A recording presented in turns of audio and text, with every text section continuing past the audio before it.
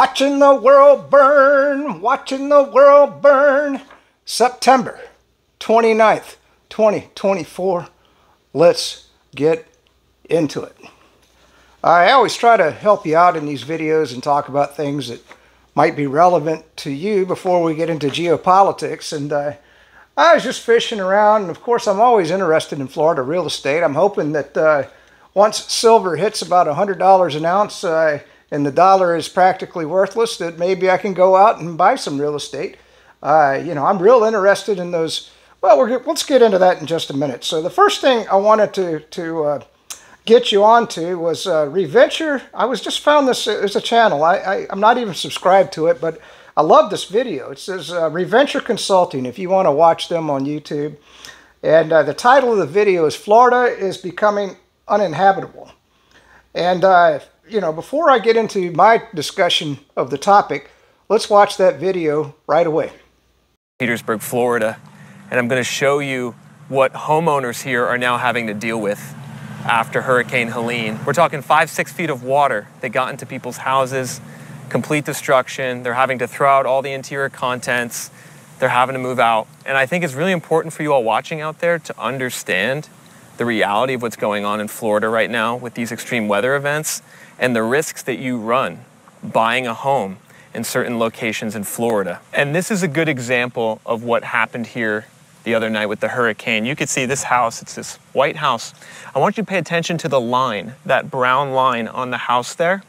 That's how high the water levels rose to. So that's out about four, four and a half feet on the house. From the street, it's probably six, seven feet this house was for sale and it just got completely flooded. You can see there's a swing in the front yard. Clearly, kids live here. Uh, a family that lives here. And this is the devastation that's occurring here in Florida. And this was a neighborhood, Shore Acres, that was already having issues before this hurricane. The inventory of homes for sale had spiked up to 230 homes because a year ago during Hurricane Idalia, half of the homes in Shore Acres flooded. Lots of people had to sell. Demand went down, inventory went way up. Well, now another hurricane has come and hit. And home prices here, I talked to some of the locals, they think the prices are going to drop even further. And it's a shame because this is actually a really beautiful neighborhood.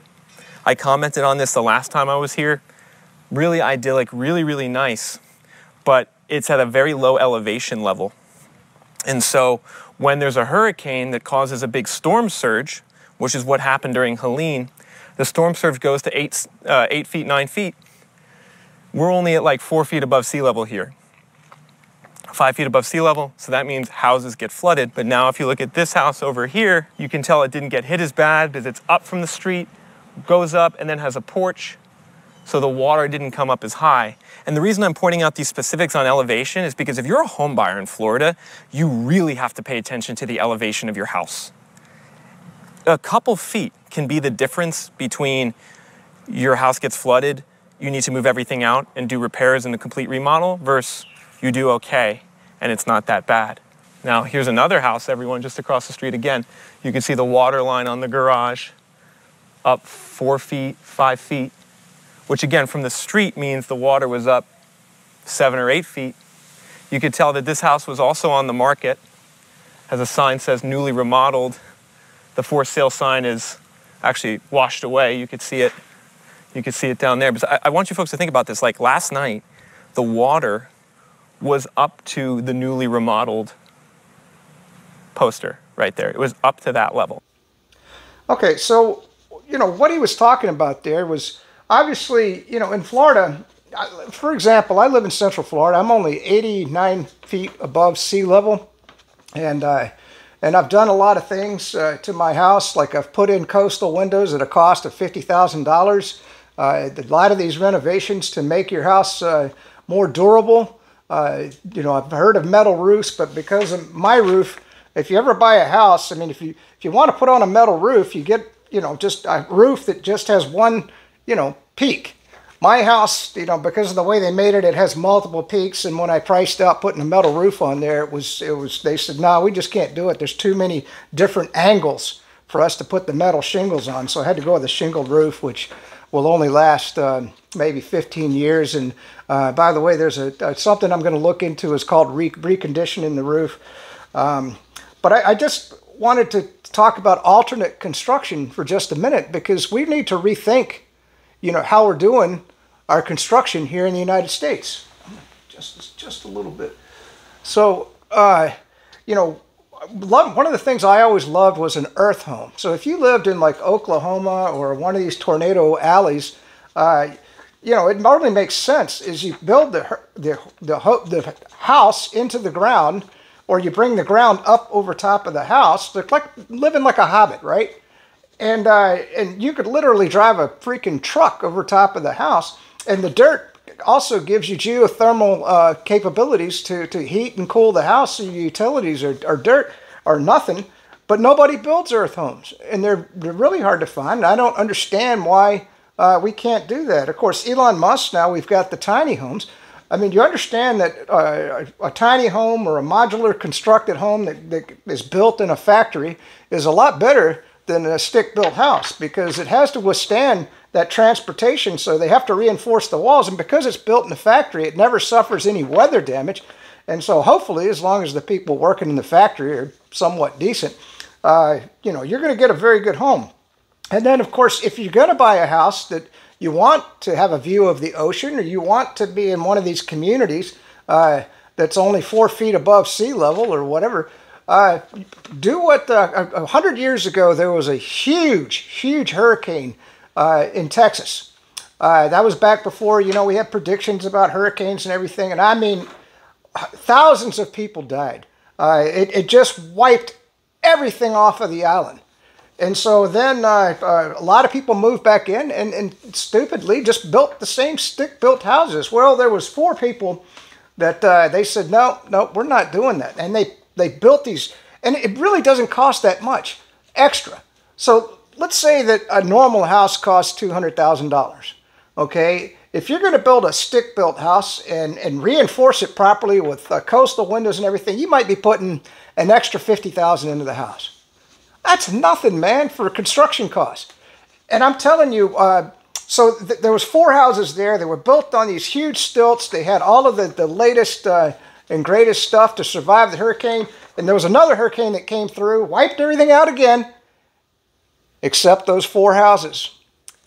Those four houses were left standing. So what I'm saying is if we're ever going to get control of insurance rates and everything, we need to rethink how we're building houses in, in the United States. And uh, the other thing was I wanted to talk about, and I, I think the term that he used in the video, it's called bear, going bear. I've never heard of that. And I was telling you in previous videos about how uh, homeowners insurance here in Florida has gone through the roof. And uh, and so I was thinking about self-insuring, and he said it's called going bare. So I'm going bare. I don't see any reason now that I've uh, reinforced the windows and I've put in a security system and everything else in the house. Uh, you know, I, and I, I, I, my parents, like I said, they, they went 30 years and only made one homeowner's claim. You know, so I'm I'm not going to pay these exorbitant prices on homeowners insurance. And right now, Citizens Insurance, another thing he pointed out on the video, is going broke. All right, so enough on real estate. Uh, but I'm just telling you, and you can't go bare until you pay off your mortgage. And I've been telling you, pay down your debt. Uh, we did the, the gold, uh, silver, platinum, palladium theme yesterday. Uh, all right, so let's start with something fun. I was going to get into uh, uh, Hezbollah and the serious geopolitical stuff. But I tell you what, I, I told you I had extra footage on Roseanne Barr, and, uh, and this is Tucker Carlson, and so this kind of picks up where the video yesterday left off with Roseanne Barr. She is a treasure to this nation. Let's watch that video. The epidemic in America is child sexual abuse, and I just want people to see it. I want people to open up their eyes and see how prevalent and horrible it is. One of three girls, one of four boys in this country today. It's just horrible, and uh, you just can't la la la it away anymore. It's going to get more and more apparent, and you got to choose your side. You know what I said? And when they did, when they didn't pass that safe law, boy, am I getting mad. Do you know Tucker? Tucker, I'm, I better shut up. No. Do you know how many people I had? Do you know what I do? Do you know what I've done since they stole that election in 2020? They gave us a goddamn COVID so we'd send in those mail order ballots and all that bullshit, and the post office cheated too. Everybody in this country cheated us out of our president in 2020. They made us sick.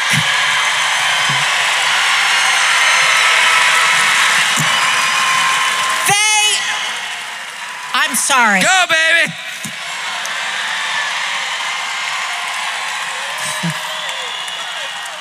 They overthrew the United States of America.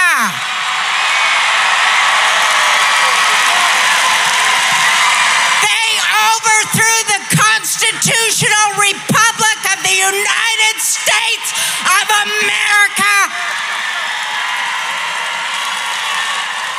And then they covered it up with their January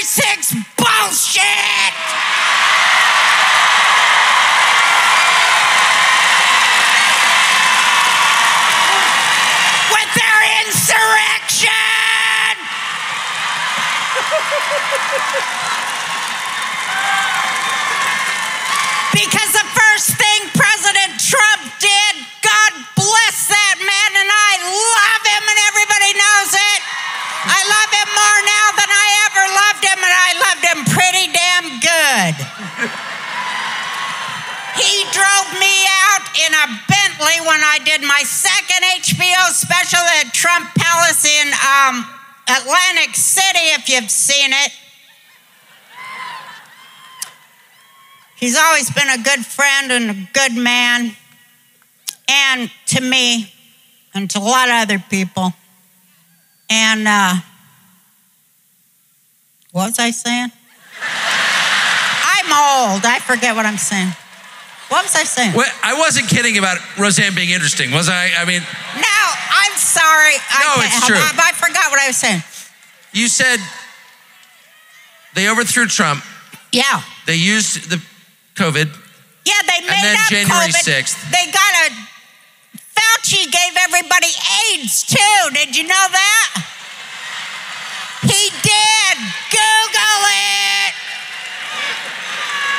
He withheld the AIDS treatment from dying people and came back to give us COVID.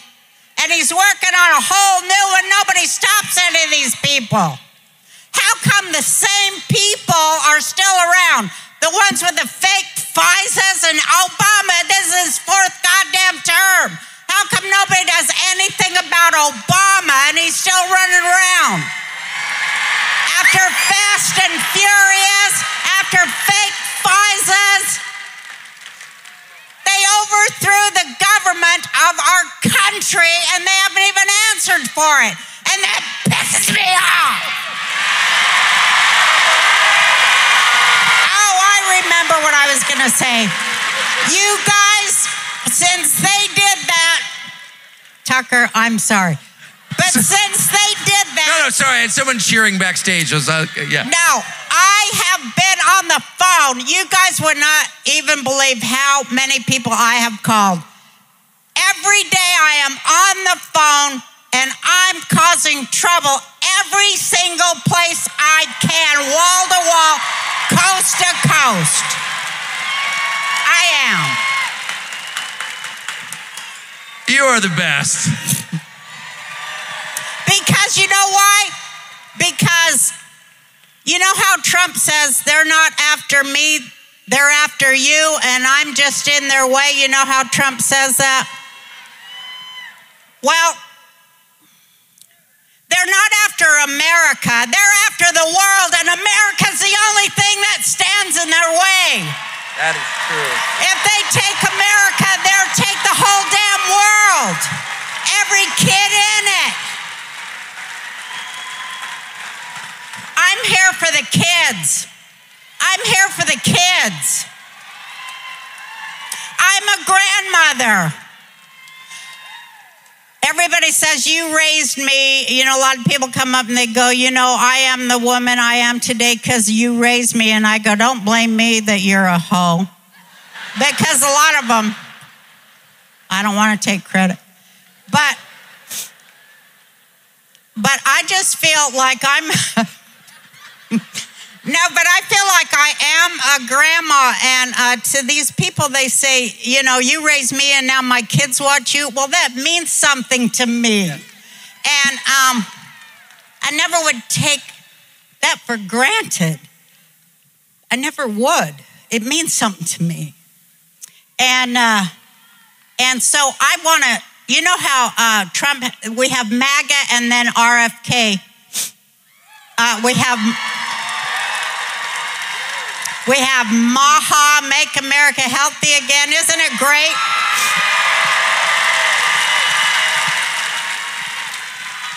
Well, I'm launching one. Uh, Make America Moral Again.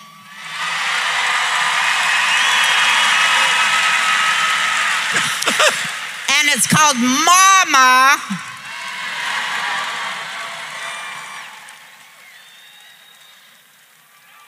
And what that means is no more double standards, America. No more double standards anywhere because that means you don't have no standards. One law for everybody. Amen. And since I am like in the position to be America's grandmother now, by God, I'm going to do it. You know, I, I don't know why this is from my act, but I do try to correct children when I see, you know, their parents don't even watch them these days. And so, you know, I I will step in when I see I do. I have to. And I challenge all other grandparents you just have to, uh, you probably can't get away with it like I can. But, you know, I just have to do it. I'm a, just a nosy old woman, and I feel like God wants me to do it. He wants me to do it like these kids were screaming in the hall in my hotel, you know? And, uh, no, but I do do this. And my son said, You better stop it, mother, because someone's going to sue you. All right, so that's Roseanne Barr, eight minutes. I mean, I, I hope I'm not stealing too much material from Tucker Carlson, but I mean, go watch Tucker Carlson. I mean, he's got great, great interviews. Uh, and she just did an interview. I'm not going to put up any video about it with Glenn Beck, and it's a hell of an interview. And uh, and she was talking about, and I was yesterday. You know, we were talking about child trafficking, uh, 300,000 kids that are missing in the United States, uh, pedophilia, sat- satanic uh, uh, the occult.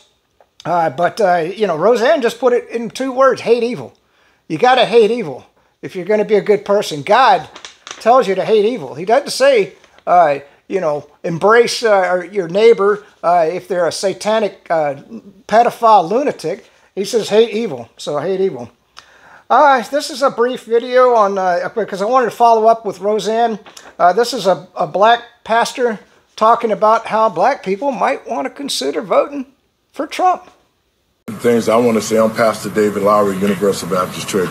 One of the things that I want to say is this to the American people and patriots across this country. Black people have been with the Democratic Party for over 60 years, and we have nothing. We don't own anything in our community. We have no schools. There's no businesses in the black community. All we have is crime and problems. So as a pastor, I'm standing up here with Bob Fioretti and some of the other black leaders. The truth of the matter is this. Why should black people keep voting for the Democrats when they don't have nothing? We need to understand this. We need to go and take a look at the Republican Party, but the Republican Party needs to be visual and need to do things in the black community. If we do that, we can make the change. We already know the Democrats are not going to do nothing. I'm the grandson of Eloise Barton the second lady ever elected to the City Council of Chicago, 16 Ward. And now what we see There's nothing that the Democrats have done or will they do across this country for black people but use us. So why not black people? Let us give the Republicans a chance to show what they can do for our communities as well. Have Republicans done that, or are you still searching? No, there's no search. The Republicans have reached out for a lot of the black leaders like myself, Brother Carter, Paul McKinley, and we've sat down with them and we started to talk. I've been talking to Mr. Porter and some of the other leaders on how we can start getting together. But let this be clear. As a contractor for the Heritage Foundation during the primary season, we sent teams out to the polling places in the black community. And we found exactly what President Trump was talking about. We found thumb drives. We found the printers. We found Democratic judges who was posing as Republican judges. So it's the polls that's being inundated with the cheating. We have receipts for everything I've said. I also saw in those polling places where the Democrats were telling people that there are no, no Republican ballots. There's so many things going on in these polling places in the black community, and that's how the Democrats are able to keep and say Chicago is blue. But actually, if the polling places were straight, black people would have an opportunity to vote for whom they choose, not whom they told to. And if the polling places aren't straight, they'll try to steal another election like they did in 2020. So that's what. All right, so that was a, just a brief video there. The next one I want to get into is uh, this is Stephon Gardner. And uh, if you don't follow him on, um, on you can follow him on Rumble, and he's also on YouTube. Uh, and you know, by the way, he's on the Ukraine death list. and it was funny because the guy he was interviewing, he goes, "That's a hell of an accomplishment." He says, "It means that you've made a mark." Uh, so I, I, I don't know if I'm on the Ukraine death list. Nobody's told me that I am. So let, us I hope not. I mean, and he, he said, you know, I don't like being on that list. I said, yeah, I, I can totally agree. But the thing I like about Stephon Gardner is uh, he presents both perspectives, and I want to do the same uh, with my videos. And uh, so this is a, the, the title of the video, Former CIA Expresses Kamala's Biggest Mistake. Now, I don't know why he titled the video that, because it, to me it went into much more important topics. And so the two that I wanted to show you was he talked about the election because that's my biggest concern is, is how the Democrats are going to cheat on the election or the deep state. And, uh, and then also it was a different perspective. So, so we're going to get into the Israeli perspective of the war with uh, Yemen, Hezbollah, and Hamas. Okay, and of course, eventually now I think Iran. Uh, there's some, uh, we might make another video. There's a lot of posts out that says Iran said, you know, you, like I said, you just got to take all this in and you don't know what to believe and what not, uh, which is why I want to give you the Israeli perspective. I gave you the Hezbollah perspective yesterday. All right, so now we're going to go, but, uh, um, but they're saying Iran is, is going to send troops. Uh, now, if they sent troops, it'd probably be just logistical support to Hezbollah. I don't know. Uh, they're saying, I, I saw some other tweets that Hezbollah has declared war on Israel. I don't know if that's true or not. Uh, we do know that the leader of Hezbollah was killed. Now, I did get some more information on uh, what took place there because I told you there were multiple 2,000 pound drums, but I, bombs dropped. Uh, but there was a picture on X of this huge crater. So Lord Bebo said that he was 30 feet underground. And so the Israelis had to hit that area multiple times with th these 2,000 pound bunker busting bombs to get down to 30 feet to kill him. So if you're for killing him, I guess that, that, you know, they're showing their capabilities. I mean, if you get down 30 feet to kill somebody, and so he was underground. A lot of people think he was up in that apartment building. No, he wasn't. And uh, so let's uh, let's watch the uh, Stephon Gardner video right now. This man has no money uh, according to FBI reports. And uh, somehow he's able to travel to Ukraine, back to the United States, to Hawaii, back to the United States, somehow makes his way to Florida with an illegal weapon as a felon, uh, knows exactly where Donald Trump will be so that he can hide and uh, potentially take out the former president. Now, just this morning, I'm reading that his son has been arrested for having pornography of young children what the heck is going on with this guy? And then is the FBI going to actually pursue him as the criminal that he is, or is Ron DeSantis of Florida going to have to step in and, and level heavier charges. Well, you've got to really ha- hand it to Ron DeSantis for doing a great job by stepping in like this because the FBI special agent in charge of the Miami field office, who's running the FBI investigation, was such a crazed Trump hater that he had to have his social media scrubbed of his anti-Trump rants as a senior FBI person. This you're not supposed to be political in the FBI, but he was. Then before he's named special agent in charge, he scrubs everything. So a lot of guys in the FBI, excuse me, have have raised this. They knew him, and and and to have somebody like that in charge of the investigation, you simply cannot trust not just FBI headquarters, but the Miami field office on an investigation like this. So this is where the states need to assert themselves, like DeSantis has been doing in Florida, to say, you know what, feds, get out of the way. This is our state. The crime was committed here. We don't trust you. We're taking the lead on this investigation. And that's the other thing, too. The FBI always has to hog the lead on any investigation that happens in any state. And you look at their news releases and their Twitter X posts, they're constantly claiming credit for things they had little or nothing to do with. It's just because they went in to intervene to take credit away from the local authorities. But in this case, FBI is taking the clues and the evidence away from the local authorities. Mm-hmm. Where else did they do this? Oh, yes, Butler, Pennsylvania Oh, you were a witness to the crime. Go home. We'll talk to you tomorrow. Oh, there's blood on the roof. Get that washed off. We'd hate to have someone come in contact with human blood. Yeah, burn that body. Burn the body. Unreal. Uh, uh, you know, and and these are the same people. Uh, you know, going after Trump are now the ones put in charge of investigating uh, attempts on his life. It seems very odd that it would be the same organization. Yeah. And, you know, and it's the same one that set up the whole fake narrative against Trump and really doesn't do much of anything to really get the serious spies who have infiltrated our society. Yeah. Um, you know, the FBI talks about uh, doing everything they can to have safe and secure elections. I'm reading about Russia, China, Iran now trying to influence the US election. I, I don't know what's true anymore. Like I could see them definitely doing that. I could also see Democrats using that as a narrative. How, how do we figure out what is the truth with election interference from foreign nations? Well, first of all, we we should assume that as the largest, most powerful democracy in the world, all the bad guys are going to be targeting us to influence our elections first to elect candidates beneficial to them so who would that be? Communist China, Iran, Russia, Cuba, Venezuela. You never hear the FBI talking about Venezuelan attempts to influence our elections when a certain software used in in in a huge number of our election machines was commissioned by the Venezuelan government to flip an election in Venezuela to keep Hugo Chavez in as dictator through democratic means. So it's the it's the it's the source code on that same software that's operating on so many of the American electoral systems, including places like Georgia, for the purposes of flipping elections. But you never see the FBI talk about that regime, which is the one emptying its prisons into here, also being behind the company that's provided the voting software here.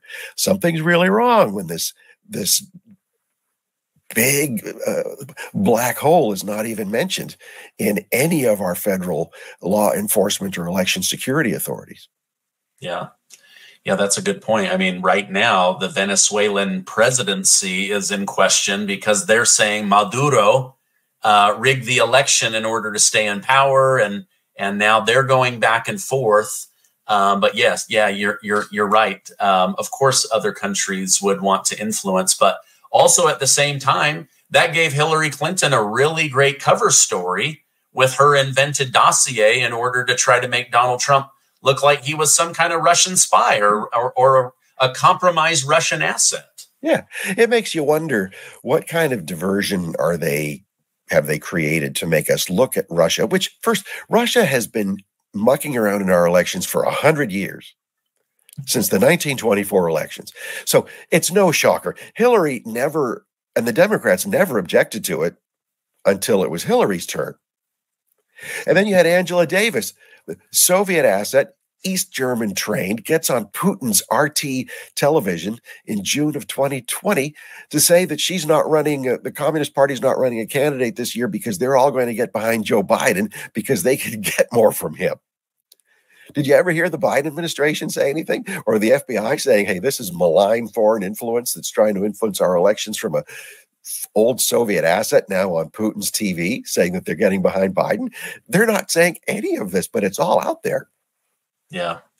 Yeah, it's kind of like they're like, oh, never trust anything coming out of Russia. Russia officially endorses Joe Biden and Kamala Harris. Okay, well, we'll take that one. Uh, you know, it's like they they they have endorsed Joe Biden and Kamala Harris. Why? Because they see them as weak, feckless leaders that they can take advantage of, uh, versus a strong leader like they they went up against with Donald Trump in the past. Yeah, yeah. Putin endorsed Biden three times this year, and then when Biden was pushed aside, he came out and said very nice things about Harris. What does that say? Yeah. He's never said the same thing about Trump. He's and it's but so you you dismissed well Putin wasn't really serious or he was only joking or whatever. Yeah, he was laughing at the at the at the sick ridiculousness of our system right now, but he he wasn't joking about his support for uh, for Harris.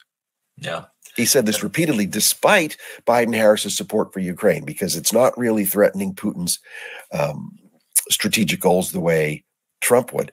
The, the, the Russians want American leaders who are predictable, who are known quantities. They need to plan carefully ahead, and especially the Chinese, even more so. They need to plan carefully ahead. They don't like wild cards at all. And Trump, even for his best friends, is a complete wild card. He's the worst thing in the world for a hostile foreign leader because those hostile foreign leaders can't plan against him. Yeah. Michael, have you seen the new Reagan movie? Not yet. Oh, it, it's it's fantastic. In there, I don't want to give away the the main thing, but in there, Russia was tracking Ronald Reagan for almost 30 years because they worried that he could become president and threaten the United or threaten the USSR.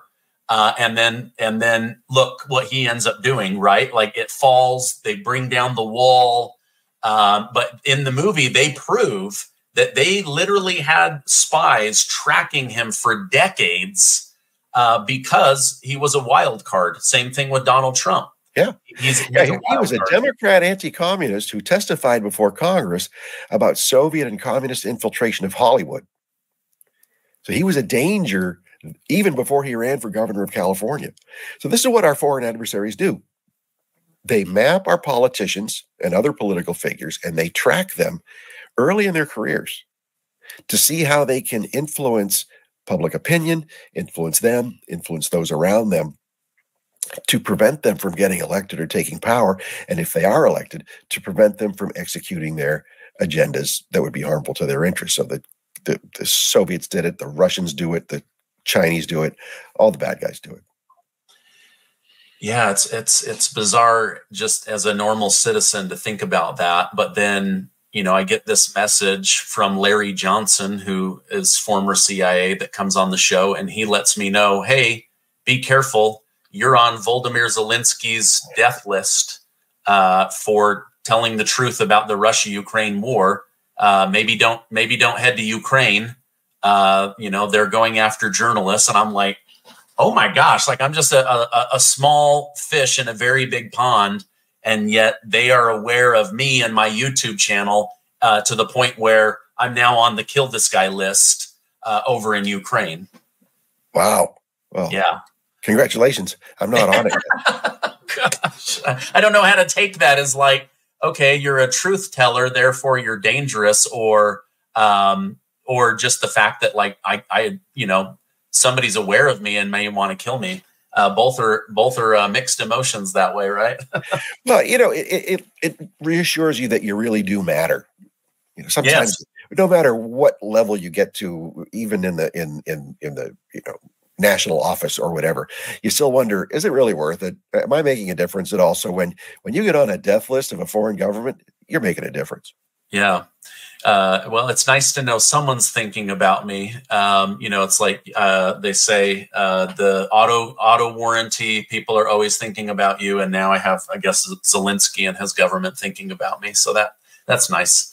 Um, speaking of Ukraine, um, I'm reading today that Europe is likely funding this war for Russia to attack Ukraine in the form of they need affordable energy. They don't have energy resources. And so they have been quietly, privately, secretly, whatever word you want to use, buying oil out of India, and India is getting it out of Russia. So they're basically funding this war for Vladimir Putin against Ukraine. But then with their words, they say, we support Ukraine against Putin. But yeah. when it comes to the money trail, they're the ones funding it. Have you have you seen anything about that? Oh, oh Europe excels at virtue signaling. They they pioneered it. They did it before we did it. And as long as it looks good to them and to the people around them, and as long as they can be trendy and cool, it's fine. It doesn't matter uh, what it really is. So here they're they're you know they're the ones who are take wagging the American dog on Ukraine. By the way, I, I support I support Ukraine's right to self defense. I just don't support dragging the United States into somebody else's war when we don't have a defense treaty with them. But that that point being aside, if the Europeans are so intent on defeating Russia in Ukraine, why are they buying so much Russian oil that's refined in not only India but Turkey? So once it's refined into gasoline from those third countries, then the Europeans are fine buying it and they save five or 10% on it. Yeah. Which means it's it's just their typical cynicism, their typical lack of believing in anything, and their virtue signaling that, oh, we're big fighters against Putin. We're not buying Russian oil. Well, yes, they are, and they are financing Putin's war machine against Ukraine. Wow. Yeah.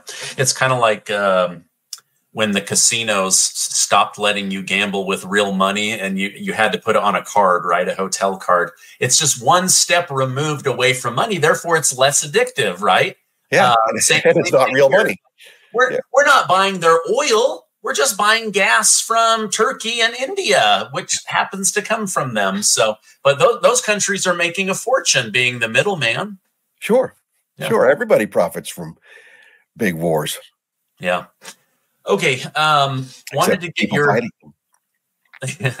I want to get your thoughts on uh, Israel now attacking Hezbollah uh, when we all thought that they were just fighting Hamas. Uh, then today I read how uh, all these attacks from Hezbollah up north, uh, Hezbollah is now hiding weapons among civilians and apartment complexes, just like Hamas in order to throw off Israel and their ability to defend themselves. What, what is your thought on the current state of the war? Are they going to continue to try to take out Hamas, or are they more distracted by the bigger enemy, which is Iran and Hezbollah? Well, it's possible to have more than one enemy. And when all those enemies are allied with each other and they're coordinated with each other, you have to fight them all. Israel did a really great job of, uh, of destroying Hamas's infrastructure and its ability to really wage a coherent fight.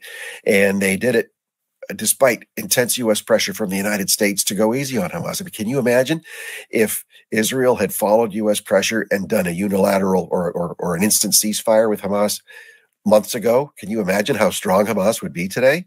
And how much more empowered Iran and Hezbollah would be today because of that. So the Hezbollah aspect of the war came really after Hamas was was pretty wiped out, and it wasn't the Israelis that that initiated against Hamas. It was Hamas that said, "Okay, we're part of this war effort too." As with Iran, as with the the Houthis in Yemen and elsewhere. So Israel has has done brilliant, brilliant work hitting Hamas in Lebanon with without doing the civilian damage that a normal war would would cause. Uh, if you just think of the of, of those of those beepers, uh, the the brilliance of getting all those explosives implanted in all those beepers at whatever foreign factory or distribution center that they were done in, specifically so that Hamas or the Iranians would order them for all Hamas personnel and then and then distributing it the way they did. They didn't use artillery and aircraft that would kill innocent civilians to do it. They just blew up the Hamas operatives and command structure with those beepers and then with the walkie talkies and so forth. So then when it's time to go in, I'm sorry, that was Hezbollah, not Hamas. Uh, so then when it's time to go in and actually get the serious weaponry after blinding and cutting up the command and control of Hezbollah, they lo- they geolocated into the exact floors of residences where Hezbollah had been renting space from the private owners of these buildings to, to have them as arsenals, fuel depots, and drone hangars. And then the Israelis did something really unusual, which was to get the imagery of those buildings prior to them being targeted, put up the schematics to show where the drones and other weapons were being stored, and then to show the the their own forces coming in and attacking those sections of the buildings that contain those weapons. And then you can see all the secondary and tertiary explosions coming out of it. So it was a brilliant operation on the Israeli side to to pull out the the, the you know practically everything Hezbollah has, and then knocking off their leaders. Now the Iranians are being left without the proxy proxies to fight their war against Israel. Yeah. Yeah. I, I read about this whole thing going, my gosh, this seems like a Tom Cruise Mission Impossible uh, movie scenario, like getting thousands of pagers to explode at the same time. Then they're they're finally, you know, like getting through the medical stuff, and then the walkie talkies start exploding.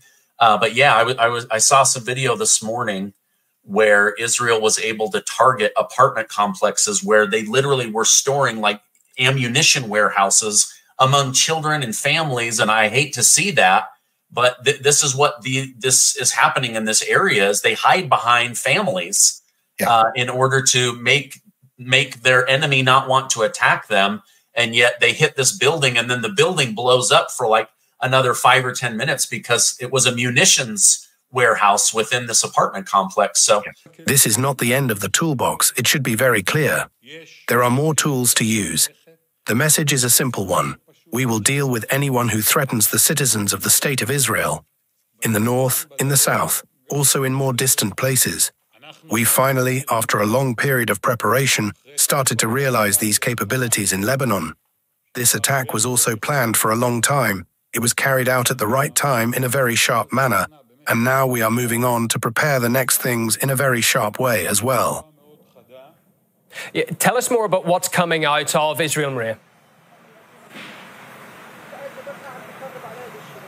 Well, hello to you, Yunan. Let me start with the situation here where I am right now, some 30 to 40 kilometers away from the border with Lebanon.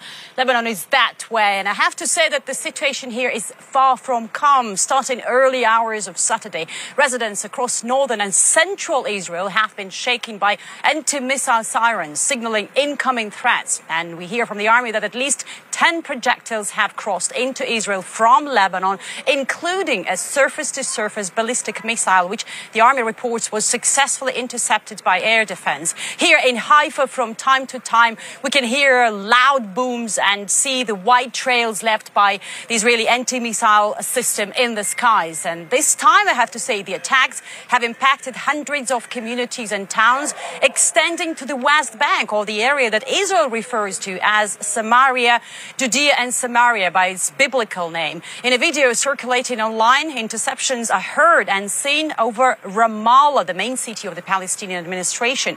While there is no information on casualties or serious injuries, some property damage has been reported, and we hear that several people required medical assistance, primarily due to the injuries the people got while rushing to bomb shelters. Just to remind you, on Monday, the IDF launched Operation Northern Arrows in Lebanon, aiming to destroy Hezbollah's combat capabilities. And the army reports having targeted hundreds of locations across Lebanon, destroying arms depots and ammunition storages. They have also targeted senior Hezbollah leadership, claiming to have killed the group's top 20 commanders. Earlier on Saturday, as you know, they announced the assassination of Hassan Nasrallah, the leader of Hezbollah, who has been at the helm of the militant group for over 30 years. You heard about that attack from my colleague in Beirut. And this is seen, of course, as a significant success for the Israeli army and for Netanyahu personally, who was politically buried not long time ago. This marks, of course, a victorious rehabilitation. However, the ongoing sirens that we keep hearing here and residents of central Israel keep hearing as well indicate that the threat from Hezbollah, from that side, from Lebanon, remains very real. I have to say that Israelis are all too familiar with rockets, especially this last year after Hezbollah joined Hamas in confronting uh, Israel last October. But are they truly that secure? And here's my report on the options available to Israeli citizens in the time of bombardment. When the sirens go off, warning of incoming threats, rockets, missiles, or drones, every second counts. People rush. Where to? In this video, you can see me and hundreds of Israelis who were participating in a massive demonstration running towards a nearby concrete high rise building to take shelter under its entrance. Another time, an underground parking garage becomes people's choice for survival. While it does provide refuge, these are not actual shelters. We are in Haifa, Israel's third largest city and the largest in the north. During the recent escalation, Hezbollah has repeatedly targeted the city for the first time since the Second Lebanese War in 2006, a dramatic turn of events for a city with a population of nearly 300,000 people. Facing the threat, residents are sheltering in the stairwell. What choice do we have? The nearest public bomb shelter is about 15 minutes walk, but we don't have 15 minutes, we have only one. In our flat, there is no bomb shelter. In our building, there is no bomb shelter. And as far as I know, none of my friends who live in this district has nothing. Our staircase looks very reliable. It worked well people tried to cheer up uh, each other, and I didn't feel so much fear, you know. It looks like people's spirits are helping them face the threat head on, not shelters. That same spirit is driving locals to stay put. Everywhere there are bombardments. Yesterday, Haifa was bombarded. Tomorrow, Eilat will be bombarded. No, I don't think it can be a solution right now. Many, however, decided to leave, especially those in the border area. With government assistance, around 62,000 people were relocated, while nearly the same number left on their own, effectively turning northern communities into a no man's land. Ensuring their safe return has become a primary goal of Israel's extensive bombardment of Lebanon. Our policy is clear. We continue to deliver powerful strikes against Hezbollah. We will not stop until we achieve all our goals. First of all, the safe return of the inhabitants of the north to their homes. And Hezbollah will retaliate. Israel has developed an extensive network of bomb shelters, ranging from private residences to community shelters designed for public use, one might think. But that's not exactly true, even for a city like Haifa, which faces a high risk of attacks.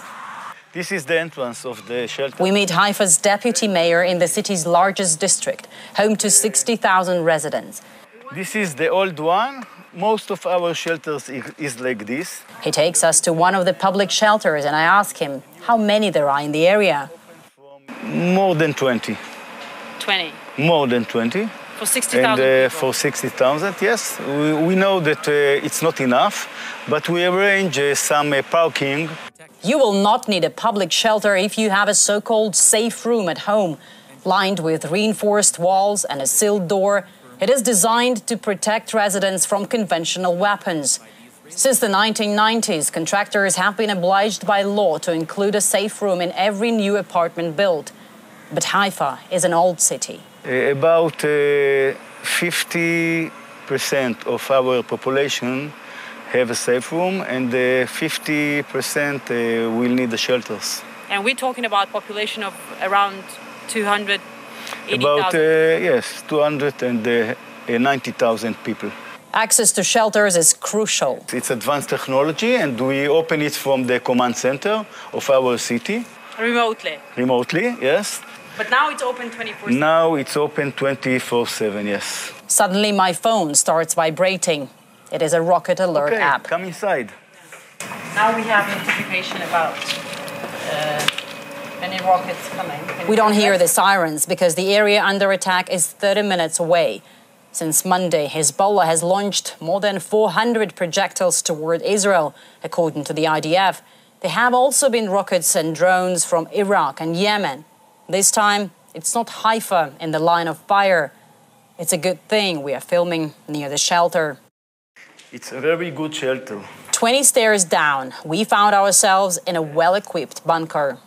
Four meters underground. There is air condition, there is water, there is a Wi-Fi generator for uh, emergency. Hezbollah recently launched a ballistic missile aimed at the headquarters of the Israeli Foreign Security Service in Tel Aviv. It was intercepted and no damage has been reported, but what if it hadn't been? What kind of threat this shelter can protect you from? Uh, all the rockets that uh, Hezbollah uh, uh, has. Like if it's surface to surface, ballistic. Yes, everything. The one they launched Uh, recently to Tel Everything, everything, yes, Even if it's a direct hit. yes. We are in a room about three to four meters underground that can barely accommodate the dozens of people. Between uh, 60 and 100 people. Every shelter uh, is uh, unique. And uh, What's this, the? I think it's about uh, 200, maybe 300 people. I do the math. If the largest shelter in this area can hold up to 300 people and there are around 20 of them, then no more than 6,000 people can be secured. It gets dark when we leave the shelter. There are rockets again, but they're far from us. We only see an Israeli anti missile system in action, intercepting rockets coming from Lebanon. This bomb shelter in Haifa is one of many built a year or two after the State of Israel was established. It's seen decades of conflicts, and today, more than 70 years on, it stands not just a relic of past challenges, but as a stark reminder of ongoing tensions. With a full scale war with Hezbollah looming, the key question is whether these shelters in Haifa, in other northern communities, and throughout the country will be enough to save so many lives. Marie Finoshina, RT, reporting from Haifa. Okay, so that was the video, and uh, there were some other takeaways from that video that I didn't show you, and that's why I encourage you to go back and watch the whole thing. Uh, know, we can't be certain about anything. You see how I come at it from both sides and you make up your own damn mind? That's called free speech, people. That's called free speech.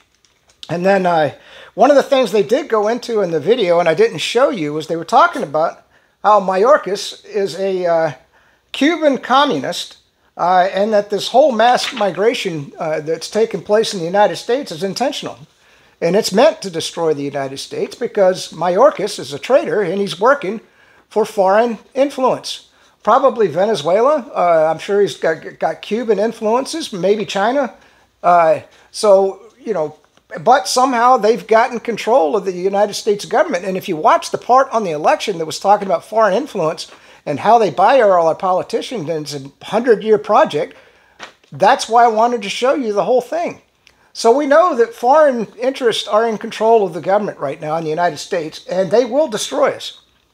Uh, and they're doing it intentionally. So anyway, uh, the last thing is uh, we're just going to finish up. Oh yeah, they talked about also how the Venezuelan gangs, uh, these people coming across, are the worst of the worst. They're even worse than the El Salvadorian gangs. And the Democrats and the CIA and the deep state are working with them to terrorize uh, you and me.